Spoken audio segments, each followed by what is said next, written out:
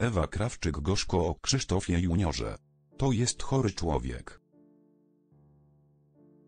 Konflikt między Ewą Krawczyk a Krzysztofem Juniorem coraz bardziej narasta.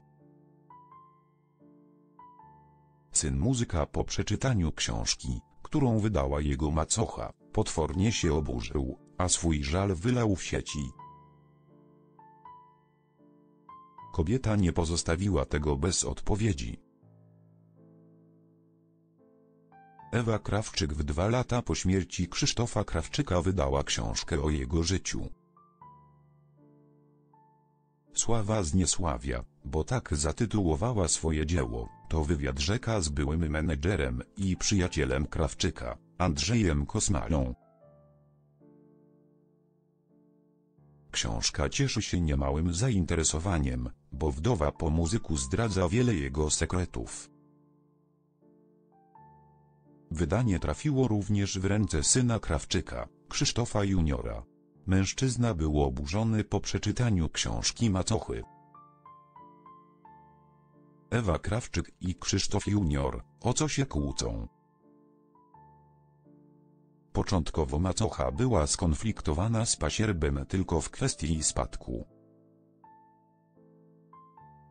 Krawczyk zostawił po sobie dwa testamenty, jeden obejmujący syna, a drugi nie. Sąd ma rozstrzygnąć, jak będzie rozdysponowany majątek muzyka. Niestety problemy już dawno wykroczyły poza salę sądową. Ewa Krawczyk chcąc załagodzić sytuację postanowiła zrobić pasierbowi prezent. Zafundowała mu więc miejsce na cmentarzu obok ojca. Ten gest nie został jednak odebrany przez juniora najlepiej. Nie zamierzam umierać, skwitował. Zobacz też, Krzysztof Krawczyk junior o prezencie macochy, nie zamierzam umierać. Mężczyzna postanowił powiedzieć też, co myśli o książce macochy. Nowa książka o moim tacie i mojej mamie to stek kłamstw i pomówień, czyli ciąg dalszy wykańczania mnie i robienia kasy na moim świętej pamięci tacie i oczerniania mojej mamy, napisał w sieci.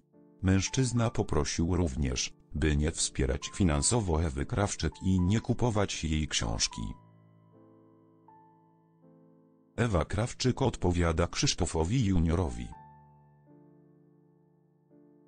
Portal Świat Gwiazd skontaktował się z Ewą Krawczyk, by ta mogła odpowiedzieć na zarzuty pasierba. Z relacji portalu wynika, że rozmowa była bardzo emocjonalna.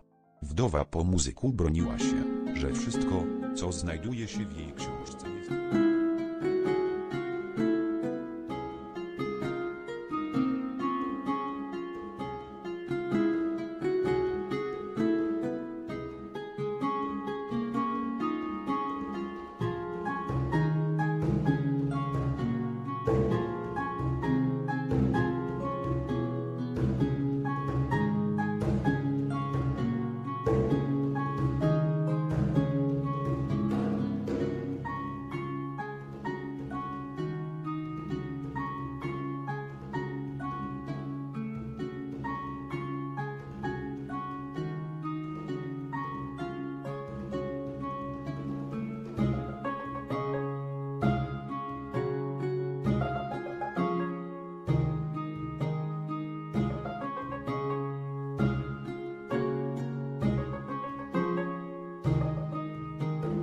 Zdaniem, to gest, który zabezpieczy mężczyznę na przyszłość, co jest ważne w tak trudnych czasach, jakie nastały. Kobieta odniosła się również do fragmentu, w którym poruszyła temat juniora. W swojej książce napisała, że mężczyzna odmawia regularnego leczenia, co działa na jego niekorzyść. Napisałam, dlaczego był chory i leżał w szpitalu i co było jedną z przyczyn, ale ja mam na to wszystko dokumenty. A prawda boli. Ale dobrze, że chociaż przeczytał książkę, podsumowała.